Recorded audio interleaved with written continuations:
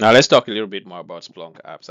As, we've already seen, Splunk apps are custom solutions that will allow you to extend the functionality of your Splunk platform.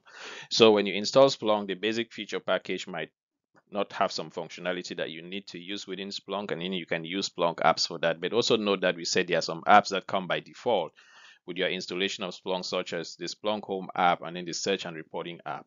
So when you go into your instance after installation, you're going to see some apps that are going to be listed here. This is what we call the apps panel on the left side here. So um, on that left side, the apps that you see are not all the apps that are installed on your instance. It's basically apps that are installed and are visible on your instance. So to see the complete list of apps, you have to go to manage apps, which you're going to see that and then now let's just look at some of the use cases of apps to get, eh, you know, some more understanding about what apps can do for you.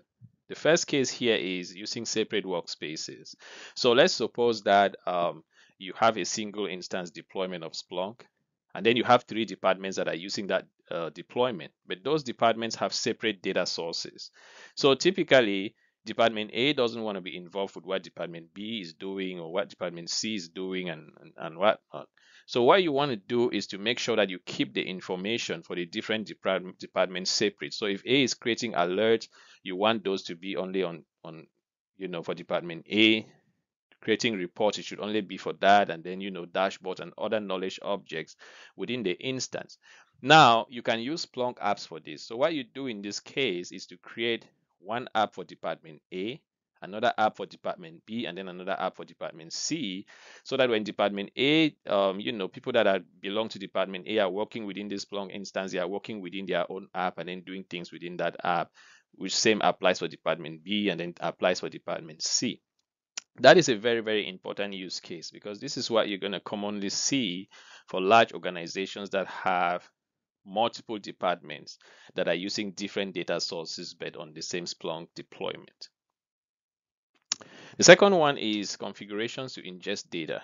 This is very important because if there is no data in Splunk, then there's going to be nothing that you can actually work on. So you want to do search analysis, visualizations, and all that. You don't have data. Um, we said before that the most common way of doing this is to install Splunk forwarders, basically the universal forwarder if you just want to collect data and send it to Splunk on your source machines configure those universal forwarders to collect data and send. And we also said that was not the only way. So you can also use apps and add-ons. Add-ons, we're just going to look at them here as apps. Um, but one of the biggest differences with apps is that most of the add-ons don't have any UI. So it's typically just there, um, you know, for configurations and other stuff that we're going to talk a little bit about here. So example one, I have my installation of Splunk. I want to ingest data that is available in an SQL database out there. That functionality is not available to me by default. What do I do?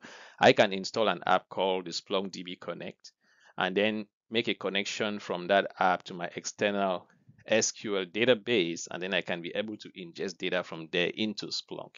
The second one that I'm going to talk about here is about add-ons.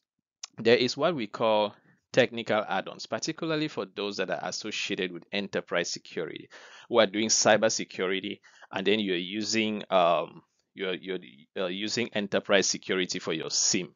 So basically, security information and event management, you're using Splunk Enterprise Security for that. You always hear of this terminology, technical add-ons. So when you have enterprise security, what you want to do is collect data from all your security equipments that are found in your network and get that data into Splunk and then you use enterprise security in order to you know use take advantage of all the dashboards and the functionality that it comes with incident review dashboard and all that stuff that you're going to be using within your SOC. But to get the data that is coming from those devices you have technical add-ons that are already available to do most of them not maybe everything.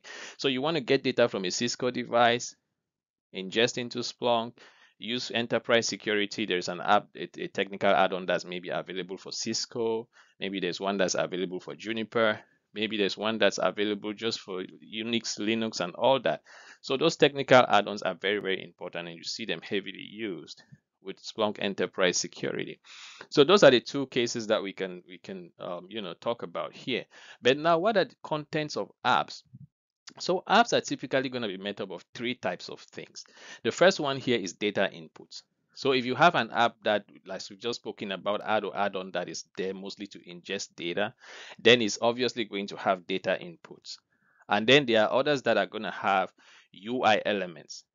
So um, let's talk, think about Splunk Enterprise Security. Enterprise Security in itself is an app. So it's not like you just um, go and say, oh, I'm going to um, install Enterprise Security as a separate instance. No, you need to have an instance of Splunk and then you install Enterprise Security as an app on your instance of Splunk. So all the dashboards that you're going to see on Enterprise Security, such as the incident review dashboard that I just cited, those are UI elements that come with that app. The third one here is knowledge objects. So you, within apps too, you have knowledge objects. If you have an app that is being used to ingest data into Splunk, like a technical add-on that we just spoke about, most of the time, um, these add-ons are already going to have configuration that can you can use to do field extractions for your data. We're going to talk about field extractions. And then you can do normalization of your data. Splunk Enterprise Security, for example, works on the basis of what we call the common information model. So when you get data into an enterprise security app, what you're trying to do is to make sure that you normalize that data to a common standard. This common standard is what we call the common information model that is a collection of data models that you want to normalize the fields of your data so that they fit that data model. So most of the time, when you are getting data from these sources, they already have the configurations that are necessary to normalize that data to that common uh, standard that's going to match data models that you have. Okay, now how do you manage apps? So if you want to go manage apps, then all you have to do is to click on the gear icon that is shown here, and then it can take you to a place where you manage apps. And there are multiple things that you can do here. You can browse for apps, you can install new apps, you can create an app if you want. Okay, where to find Splunk apps? So we've just spoken about the apps. Now, where do you find them? You have a use case and you're thinking maybe there's an app that I, I realize already exists on my use case. Where do I find this app to install? Typically, you want to go into Splunk base, but you can also do this um, by just browsing those apps on the Splunk web UI. So if you go to where you were we talking about manage Splunk apps, and then you can browse apps from there. So basically, just find your app within the UI itself and install. Or alternatively, you can connect externally to that uh, Splunk base. And as we said before, Splunk base has like over a thousand apps that are already available and you know for different use cases. So you can just find your corresponding app there, download it into your machine, and then install that app on your instance. So what are some of the examples of apps? We just spoke about Splunk Enterprise Security. So Enterprise Security again is an app that you can use for security information and event management. And then there is also the Splunk Common Information Model. So when you have enterprise security, you need to have the CIM app as well, because this is the app that you use in order to normalize the data that is coming from the different data sources into a common standard so that the dashboards that are associated with enterprise security can use. And then you can have apps like, you know, Splunk app for Microsoft Exchange, Splunk app for AWS, and then Splunk DB Connect.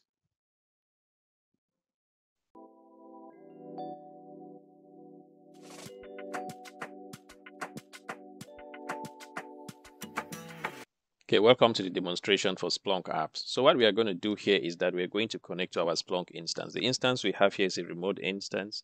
So it has a public IP address that we're going to use here to log in. So what I'm going to do first of all is to copy that address and I'm going to put here HTTP. Well, I already had my local host here because I have a local instance as well. I'm just going to paste my IP address here in place of local host.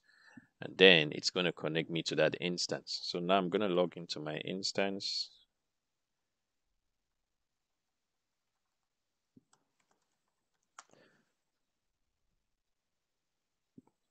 All right, so now I'm connected to my instance of Splunk. And what is the very first thing that I'm going to see here? The first thing I see is Splunk Home. So this first page that we said you connect to, this is what you're going to refer to as Splunk Home. And then when you look here on the side, you're going to see Splunk apps, but it's going to show three apps. These are apps that are coming by default with your installation of Splunk. Remember that we spoke of two of them, the home app, which is this one that you log in to see the screen here, and then the search and reporting app here. But of course, there are other default apps that you see, just that those two are the most important ones. And then now we're going to go to here. If we go to manage apps, you see these apps that are showing here, you would think that these are the only apps that are installed or that come with your installation. These are just the ones that are visible. A few of them are visible here. So if you go to manage apps, you're going to see the entire list of apps on this instance. So you see all of them here, you know, up to like 25 per page. If you go here, you even see a continuation. So there are quite a few apps on the instance. And then in order to manage them, you see you can browse for more apps. Remember we saw this, that you can go here, go browse for more apps. And within the instance, as we said, you can find and install apps. So you see multiple apps here that you can just click on install and it's going to install the apps for you. So the event gen app we spoke about, if I just do event gen here, you see that the app is here and I can just click install and it's going to install that for me. So let's go back um, to see the other options that we have there. The other option is that you can install an app from your file. So if you went, say, to uh, Splunk base that we spoke about, and then you downloaded an app, you wanted to install it on your instance, all you can do is go to install from file, and then you install. We are going to see that. And then, of course, you can also create an app.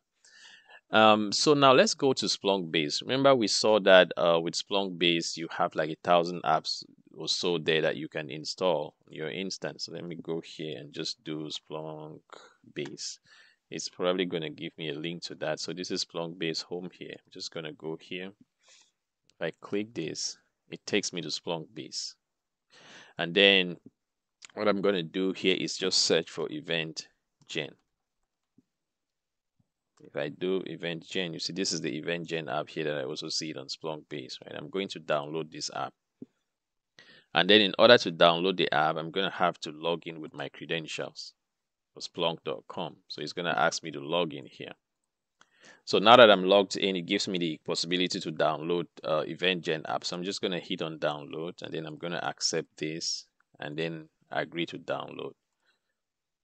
So it's going to download event gen app for me. So you see this is it showing right here. So if I go to my downloads folder now, I'm going to see it there. Okay. So how then do I install this app?